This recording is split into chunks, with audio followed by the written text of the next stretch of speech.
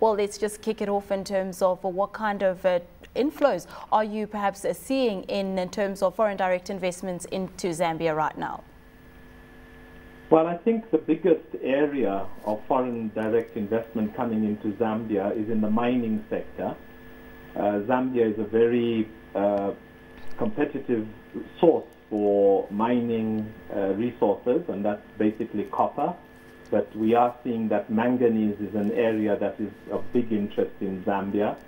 And uh, in the northwestern province and up in the Luapula province, we're seeing a lot more mining activity coming in. And that is really where the foreign direct investment is coming, through. When you look at foreign direct investment, you'd look at greenfields, mergers and acquisitions, and uh, public-private uh, partnerships. What are some of the challenge, key challenges is the Zambian economy facing in terms of uh, public-private uh, partnerships uh, with recent uh, developments by the government?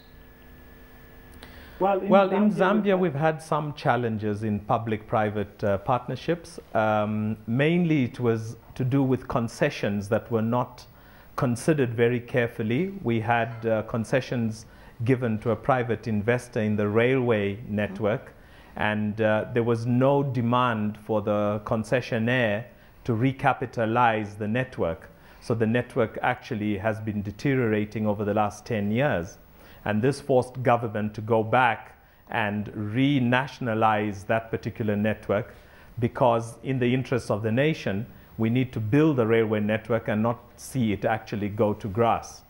But uh, we've seen uh, challenges again in public-private partnerships in the area of uh, border management control, mm -hmm. where some of the investors that have come in have not been transparent. There's been challenges of accountability and uh, government began to realize that maybe this is something that wasn't such a good idea and go back into taking over those operations.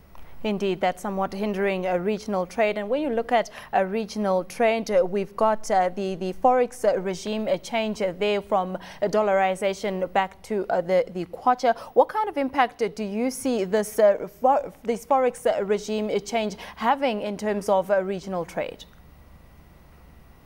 Yes, I think um, we, we have a challenge in Zambia. We have nine direct neighbors, that includes Burundi across Lake Tanganyika. And at border crossing areas, you will not find too many bureau de changes or banks. And as a result, uh, you find that the trade across the border is in the currency of either Zambia or the neighbor across the border. And so the rules and regulations we have around ensuring that all trade in Zambia is done in Zambian kwacha uh, really can't really happen when it comes to the borderline areas purely because of the lack of facilities.